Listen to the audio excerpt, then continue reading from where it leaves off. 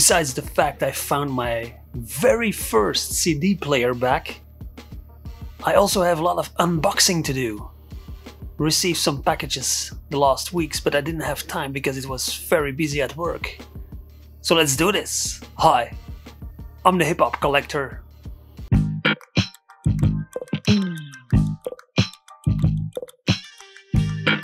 hiphopcollector.com. As you could see in last week's episode, I found my uh, Beastie Boys tape back, which made me really happy. And from that same attic, still have to bring back a lot of stuff. But in the first bags and boxes, I also found my very first CD player. Also brings back a lot of memories. It's not in best condition as you can see, the late 90s, my laser was not working well anymore, got a bit frustrated, started hitting it. It's not how you treat your stuff. Anyway, uh, I plugged it in and the display still works, which is really cool. Brings back a lot of memories, as I told you. And the thing that hits me the most is that power button. I don't know if you also have that, if you smell something or hear something from the past. It brings back a lot of memories. And I'm not sure if you will hear it, but if you push the power button, that sound. Wow, you cannot imagine how many times I pushed that button way back in the 90s. That sound alone, wow, that's cool. Uh, maybe I'll just keep the front. Just as a memory, the back part, okay, it's totally gone. Pieces are missing. Maybe the front as a memory. My first Sony CD player. Very cool to find back, very cool. Second part of this episode. Some unboxing I have to do. Here are some boxes that I received lately. Didn't have time to open them up because it's so busy at work. So I thought, why not sharing it with you guys, what I was ordering lately. I don't order that much anymore like I did in the past. We'll do a whole episode about that, why that is. But from time to time it's cool. So let's do this. I will open them up now so I can share what's inside. And to do so I will use my also found back in the attic of my mother. My Rambo knife. Oh boy, what do people keep in attics? My Rambo knife. Okay, let's do this.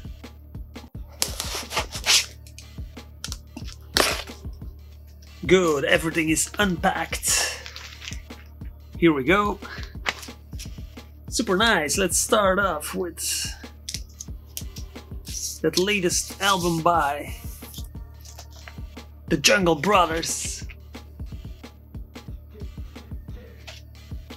So happy to have it in my collection. Limited edition 500 only made. This is number 19, I see. Cool, big up to the Jungle Brothers. Next up, some hieroglyphics.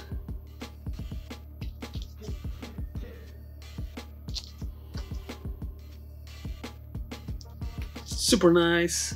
Always been a huge fan of those.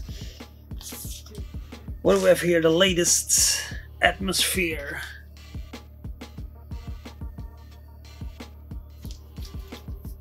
Very nice album, really like it. It's always quality.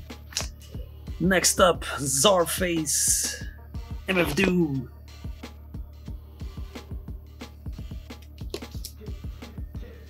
Super nice album. Next up, the 30th anniversary remastered deluxe edition includes 5 unreleased tracks. Slick Rick.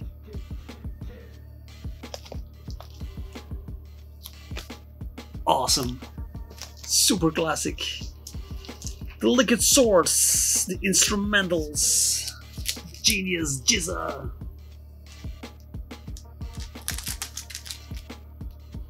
Awesome. I already had it on vinyl, but that was bootleg. This looks more legit. What do we have here? Rubber Room, some underground rap. The album that they released way back was awesome. Very happy to find this one also. Cool. Rubber Room. Check out their albums, they're really, really good. What do we have here? Some record store day release from 2015. Schoolly D. Always nice to find some Schoolly D.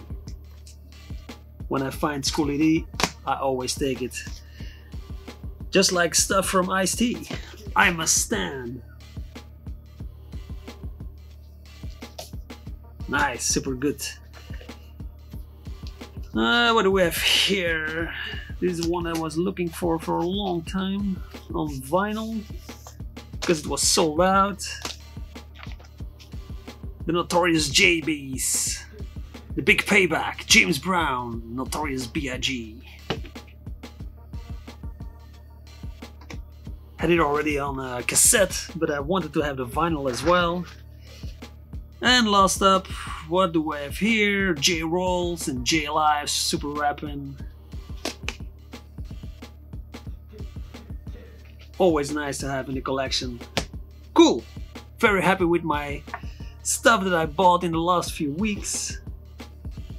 Gonna put them on now, relax a bit, putting them in my online overview, and just enjoy them.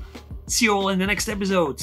Peace. Oh yeah, and to that guy who called me the Bob Ross of hip hop, thank you. I really love that. Peace.